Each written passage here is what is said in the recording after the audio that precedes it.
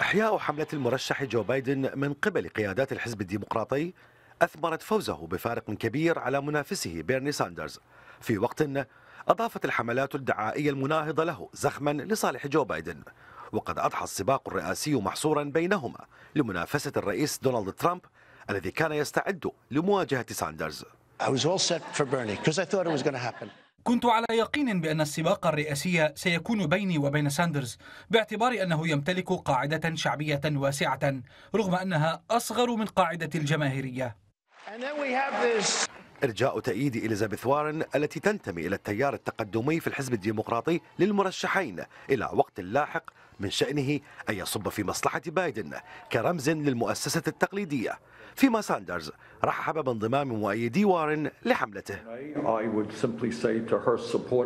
أتوجه إلى مؤيدي السيناتور وارن وهم بالملايين بأن الباب مفتوح لتعزيز التيار التقدمي في مواجهة أخطر رئيس أمريكي في العصر الحديث. أنا على ثقة أنه باستطاعتنا الفوز إذا حشدنا قوتنا معا. وتتركز حملات المرشحين على ولاية ميشيغان التي ستشهد الجولة المقبلة من الانتخابات التمهيدية للحزب الديمقراطي الأسبوع المقبل.